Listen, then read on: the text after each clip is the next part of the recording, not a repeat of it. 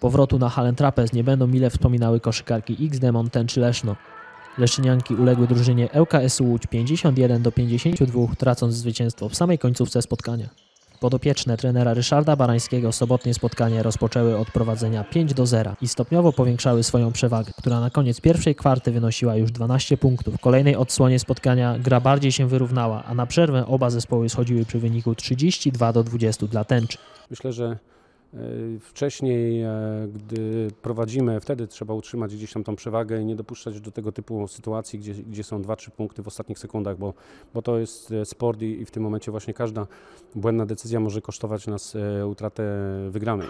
W trzeciej kwarcie łodzianki zniwelowały swoją stratę do 5 punktów, jednak wtedy serią trzech trójek popisała się Elżbieta Giedroyć, dla której był to pierwszy mecz przed leszczyńską publicznością.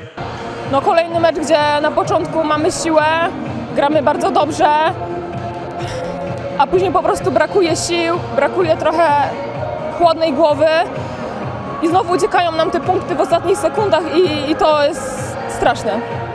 Co dokładnie zawiodło? Obrona, atak? Szczerze nie wiem, i tu są błędy, i tu były błędy. No, no ostatnia akcja, no to oczywiście mój błąd w obronie, ale myślę, że grałyśmy tak pośrednio i do, tak średnio w ataku, średnio w obronie i no niestety no, te błędy zaważyły na tym wyniku znowu. A ze swojego występu jesteś zadowolona? No, to jest trochę śmieszne pytanie teraz. Co z tego, że rzucę trzy trójki, jak nie trafię osobistego i nie obronię ostatniej akcji? No, ja się czuję strasznie, wiem, że to jest gra zespołowa, ale jednak znowu ostatnia akcja jest moja. No i znowu przegrywamy jednym punktem. Niestety, w ostatniej kwarcie Leszczynianki wyraźnie osłabły.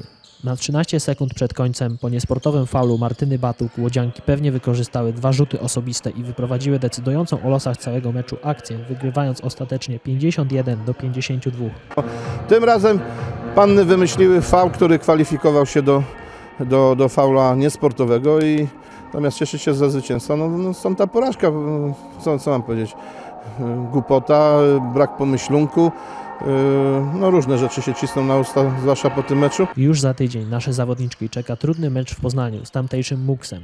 Koszykarskie emocje z udziałem tęczy powrócą do Leszna 26 listopada, kiedy to do trapezu zawita chrobry basket Głuchołazy.